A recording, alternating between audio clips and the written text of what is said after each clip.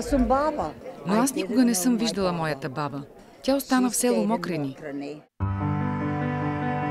Като повечето мъже от Мокрени и Костурско, бащата на Надежда Чачов Никола Колянов е бил комита от вътрешната македоно-одринска организация, който бяга сам в Америка заради турските и гръцките гонения през 1903-1913. За тези 10 години страдания войводата Христо Силянов пише в мемуарите си. Ние напуснахме Костурчани и не се върнахме вече при тях ни сами, ни с българската войска. Костурско и днес е толкова далеко от България, колкото бе и преди славата, кървите и сълзите на войната и чака още българската войска. Едва през 1930 семейство Колянови се събира в третия по големина град в щата Охайо Синсинати. По това време по-голямата сестра на Надежда е на 18 години и за първи път вижда баща си едва след като прекрачва океана. Една година по-късно на бял свят идва Надежда и баща й я записва като член в местния клон на МПО, който носи името на река Бистрица в Кюстендилско. МПО е съкръщението на Македонската патриотична организация и тази година тя навърши един век от основаването си. През 9 земи в 10 реки, океан и няколко езера, делегатите на Конгреса на МПО отброиха столета в Форт Уейн. През 1922 техните предци, емигранти от Егейска и Вардърска Македония, създават своя организация във втория по големина град в щата Индиана.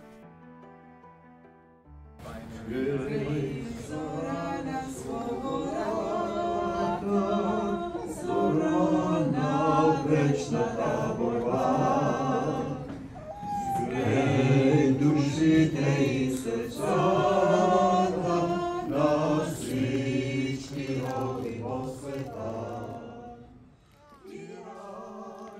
Изпълнението на изгрей зора на свободата от доброволци е традиция за всеки конгрес на МПО. Три дни преди да навърши 91, Надежда Чачов изпя марша, разпознаваем за поколения българи, останали в съвременните граници на почти всички държави на Балканския полуостров. Музиката и текста също гонят един век. Избрани с конкурс по поръчка на ВМРО и лично войводата Тодор Александров одобрява песента – началото на 20 век, бягащи от турците и гърците, нашите сънародници от старите предели на България се установяват в четирите посоки на света и остават верни на идеалите, за които се пее в изгрей зора на свободата. През 1922 правят опит да запишат МПО като политическа партия според американското и канадското законодателство – те си идват с организацията, те си я имат организация, те са членове на организация ВМРО. Но проблемът тук е бил, че не може да се регистрира в Америка и в Канада организация революционна. Затова не може да е ВМРО. Така. И те са приели да сложат ново име МПО. Първо е било Македонска политическа организация, след време я сега промели на на Македонска патриотична организация. Това са същите хора. Това са били членове на комитетите по време на възстанието и преди това и след това. И те идват тук като българи. Основателите на МПО купуват парцели за църкви в Америка и Канада и теглят кредити за изграждането им. Към църквите има неделни училища, където техните деца и внуци учат майчиния си език. По този начин а, няма да се размият с другите общности. И това им е помагало за децата да, да, да ходят на неделното училище, да ги учат, макар че учат на местния език, обаче в неделното училище учат български език. И а, а, аз си спомням, че те на, на молитвата слизаха от, от класната стая в черквата и отиваха отпред и заедно с всички представящи децата казваха молитвата. И това беше всяка неделя. Насоката на тази организация са, са дали тези хора, които организацията почита като техни герои. Това са Ванчо Михайлов, Тодор Александров, Гоце Делчев, всички наши български революционери, възрожденци, на, на чието имена са и секциите на Македонската патриотична организация на, на техните имена са наименовани. Основната цел е да се установят контакти с политическата власт в Вашингтон за извоюване на свободна и независима Македония. Швейцария на Балканите, както казваше Ванчо, всички етноси да живеят заедно, както е тук в Америка.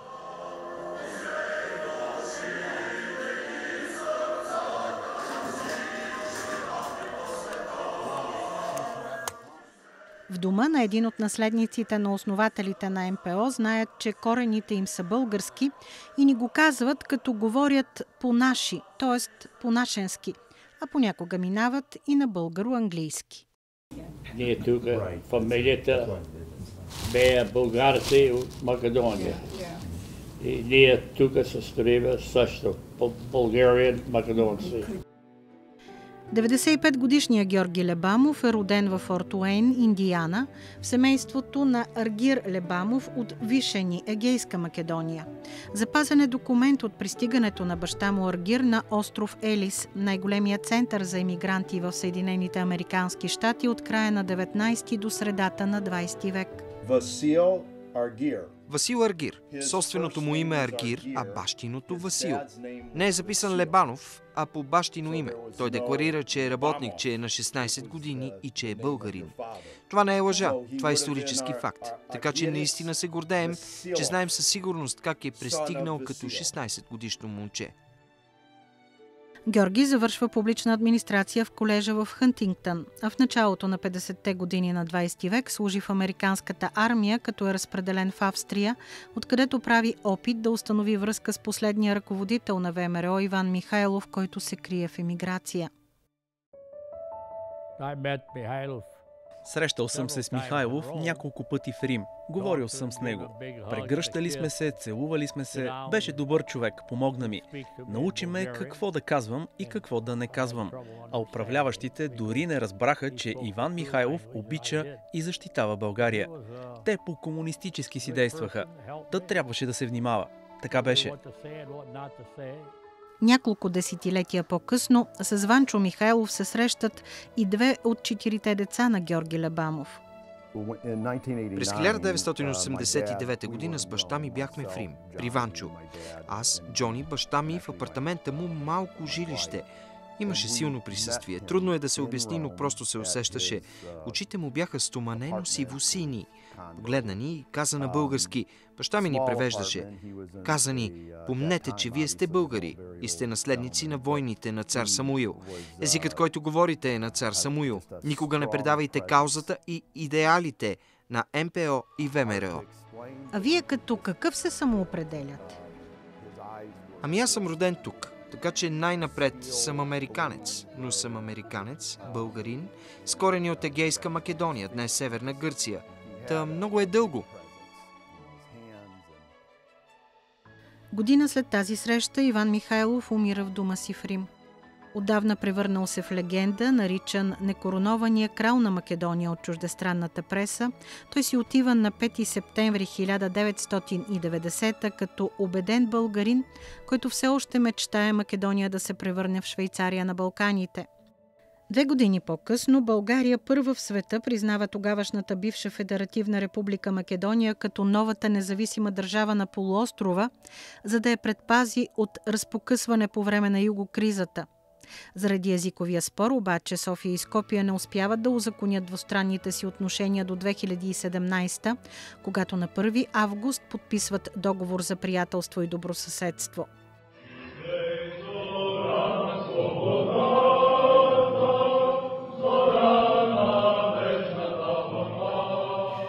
Тогава в знак на подкрепа и в памет на жертвите на Линденско-преображенското възстание, избухнало на 2 август 1903, монасите в Бигорския манастир изпълняват по време на служба химна на ВМРО «Изгрей зора на свободата», забранен от югославските власти след 1949 има хора с много силен дух в Охрид, в Прилеп, които се борят за правата си като българи. Гордея се с тях и им се възхищавам. В един момент ще отида там и ще се видя с нашите патриоти. Трябва да продължим борбата с перото и гласа си.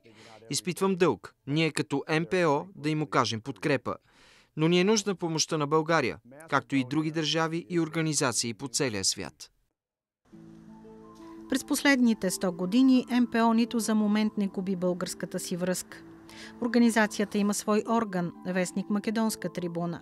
В Форт Уейн се пазят всички броеве и машините, на които набират ръчно статиите.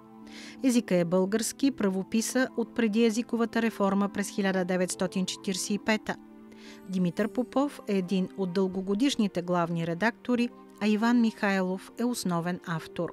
И те повикват Митко да дойде да му помага. И той не е искал, но се съгласли, съгласил, понеже много малко пари, 10 хиляди на годината, нали? както и да е. И той идва тук в Индианаполис и редактираше вестника, но винаги а, статии това се изпращаха от Рим. Когато той пишеше във вестника, той не си слагаше името. Беше скромен, много скромен. МПО е намесена и в сватбения подарък, който главният редактор на Македонска трибуна подарява на съпругата си Вера. И сега това си носам, това е с мене. На всека да пътувам с това. Значката на МПО и това е с злато тук, това е нали, златно, да. Семейните спомени винаги се преплитат с документалните свидетелства за времето. Живей или умри, всеки от МПО има подобна история. Неизброимия архив на организацията в Форт Уейн пази тези истории, но само ако бъде дигитализиран, няма да се погуби. Българите отвъд океана вярват, че ако натрупаната информация е публична в онлайн пространството, ще стигне по-лесно до съзнанието на новите поколения в България и Северна Македония. Те споменават Александър Македонски. Нема нищо общо с нас. Оставете го. Най-големата а, м- трагедия, че и те се наричат ние сме македонци, добре, от Македония сте. Но откъде идвате? Нали? какво сте били вашите баби, дедовци. Баба ен дедо е запазена фраза в говоримия език на третото и четвъртото поколение в МПО. Моите внуци не е баба, насекъде те баба и е, даже най-малкото, дето е сега 3 години и тя май баба. Лека нощ, баба, а българските букви – образите на техните създатели, светите братя Кирил и Методий. Имената на българските книжовни школи и светии може да се видят и днес в църквата Свети Николай в Форт Уейн. Генералният консул на България в Чикаго Светослав Станков попадна на неочаквано откритие тук. Наред с църковното знаме е запазен и един от българските държавни символи – Запознавайки се с а, знамето на, на църквата, видях, че всъщност тук е вплетен и българският триколор. Заедно с а, автентичните а, цветове на Македонската патриотична организация. И, и всъщност разбрах, че въпреки в факта, че тук днешно време почти няма нито един мирянин, който да говори български язик. Те все още пазят традициите си и почитат създателите на тази църква, които са македонски българи. Делегатите на Конгреса за 100 годишнината на МПО за първи път видяха български президент, макар и през видеоекран. Румен Радев изпрати плакет за значителния принос за опазване на българската идентичност, а евродепутата Андрей Ковачев ги поздрави от името на Европейската народна партия, Македонския научен институт в София и културния дом в Битоля, който носи името на техния идеолог Иван Михайлов. В очите ми напират сълзи за това е супер страшно, защото точно това на 100 годишния юбилей на организацията, никой от преди нас, дето са били тук, не е вервал, че това може да стане.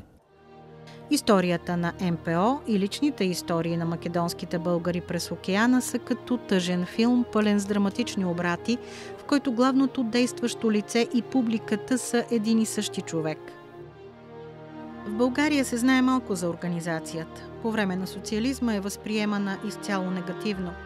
Но такава е съдбата на всяка емиграция да бъде един необятен духовен свят, за съществуването на който никой не подозира.